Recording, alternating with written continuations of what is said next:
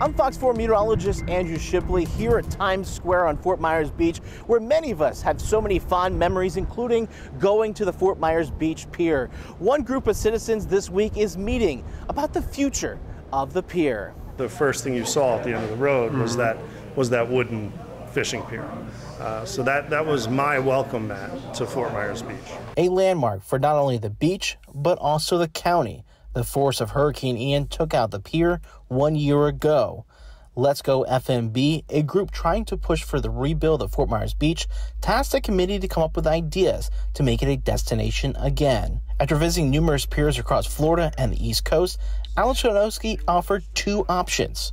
The first option would include a thousand foot T shaped pier, double the length of the old pier, with separate areas for fishing and viewing the sunset. This would cost the taxpayers about $20 million. The second option would not only replace the pier with option one, but also Lynn Hall Park.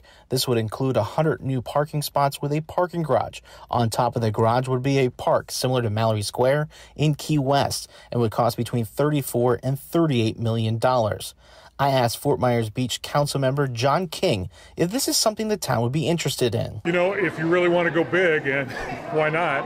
That uh, the plaza is uh, is quite a quite something right there. So, I, you know, I don't know. Obviously, you want to hear more about what the community feels, what the county thinks, and then a, a, couple of good options to go forward. But since this is county property, the final go ahead on any option would need county commission approval.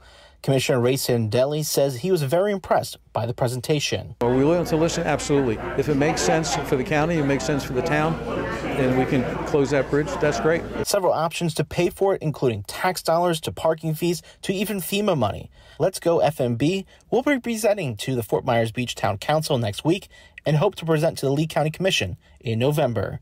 On Fort Myers Beach, meteorologist Andrew Shipley, Fox 4.